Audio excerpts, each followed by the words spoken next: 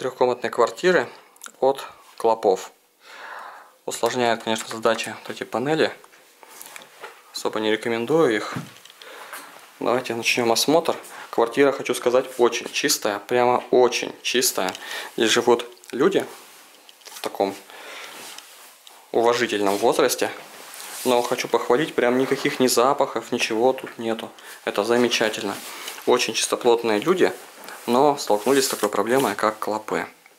К сожалению, от этого никто не застрахован. Они целый год боролись сами, но не смогли так их вывести. Использовали магазины различные препараты. Как сам хозяин дома сказал, что потратил, наверное, где-то уже пенсии две на борьбу с этими клопами, но ничего у него не получилось. Поэтому они вызвали компанию Мирдес. Вот здесь-то нагляднее видно.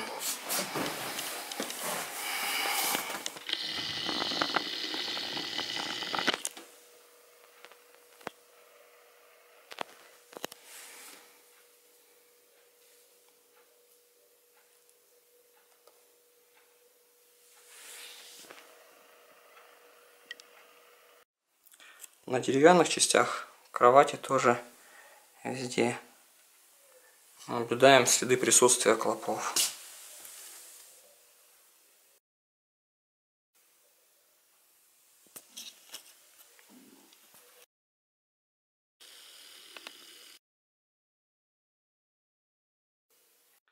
Сложность в том, что клопов здесь давно с ними борются. И поэтому они уже спрятались такие многие сложные потаенные места. Теперь дальше идем осматривать. Я вот уже немножко похозяйничал. Ну, вместе мы с хозяином квартиры.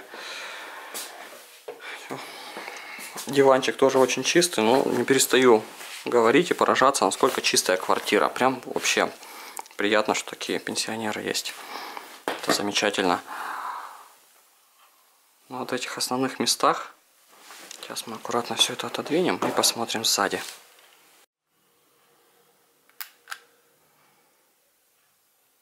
Хотя вот здесь в обычных их любимых местах их совсем немного. Кажется на первый взгляд. Ну, здесь лишь небольшое количество личинок. Вот здесь они обычно любят откладывать яйца. Но посмотрим вот на вот эти части с огнем их. Тут ситуация, конечно, намного-намного серьезнее. Ну, другая часть дивана. Здесь интересно, что на месте загиба здесь их почти нет, а вот в этом месте, наоборот, их очень много. Переворачиваем диван.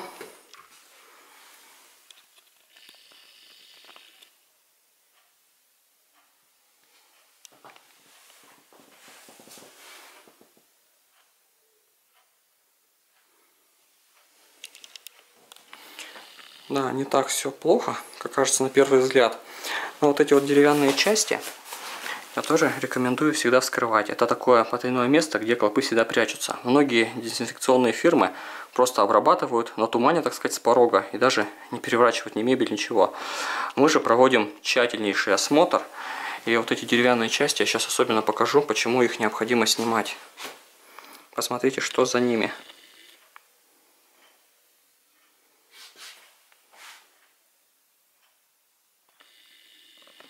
Просто огромное количество и клопов, и личинок. Я произвел демонтаж всех деревянных частей. Ну, количество клопов тут наглядно видно. Что процедуру эту производил не зря. Ручка у кресла, в котором, казалось бы, их должно быть ну, практически не быть. Видимо, сколько серьезная ситуация.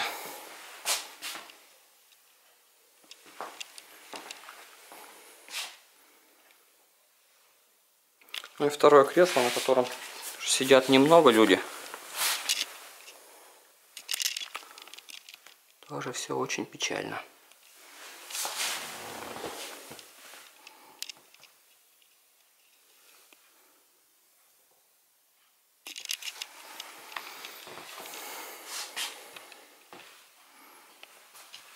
В следующей комнате, в третьей, спальных мест нету, поэтому показывать я ее особо и не буду. Обработка здесь будет производиться при помощи генератора холодного тумана СМБ-100.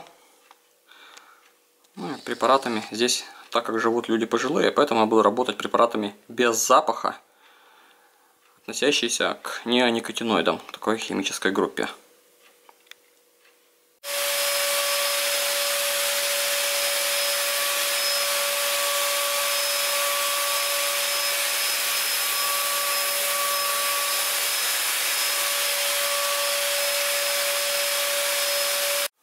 Так, обработку я завершил. Ну, результаты уже видны сразу. А, клопы погибли. Мгновенно. Также препарат обладает овицидным действием, то есть яйца тоже должны погибнуть.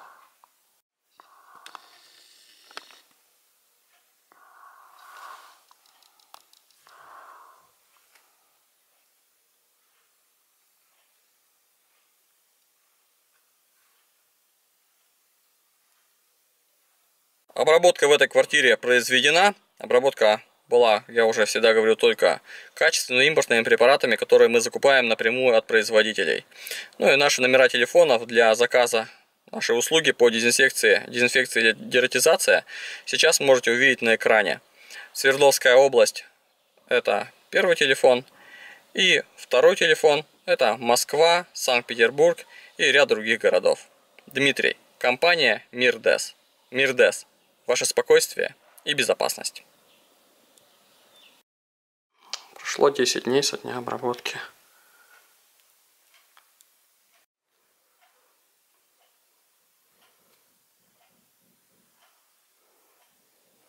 Все клопы погибли. Гараж вынес. Угу.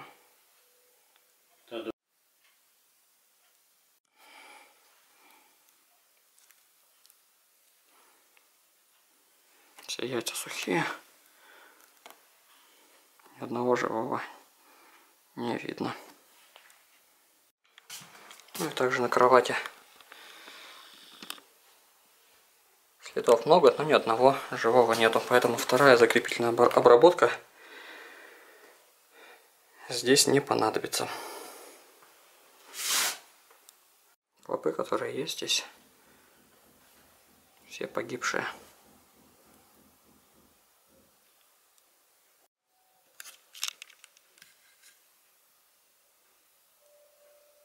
Спустя 10 дней я заехал на объект для осмотра, проверил, нужна ли вторая закрепительная обработка.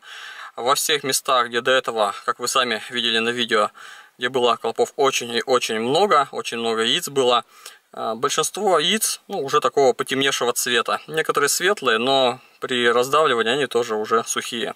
И клопы. А, а, как сам хозяин квартиры сказал, что в течение первых, особенно двух-трех дней, он выметал очень много дохлых. Затем было небольшое затишье. После этого он опять повторно стал видеть много и крупных дохлых, валяющихся под кроватью, и мелких. То есть это первые две недели, особенно это не показатель, потому что они могут вылазить, выползать из своих укромных мест, как это и было на видео. Сейчас проблем абсолютно нет, прошло 10 дней. Обращайтесь, компания Мирдес. Вызвав нас, вы можете на 100% быть уверенными, что мы произведем качественную обработку вашего объекта, несмотря на ее степень заражения и несмотря на вид насекомого. Дмитрий, компания Мирдес. Мирдес. Ваше спокойствие и безопасность.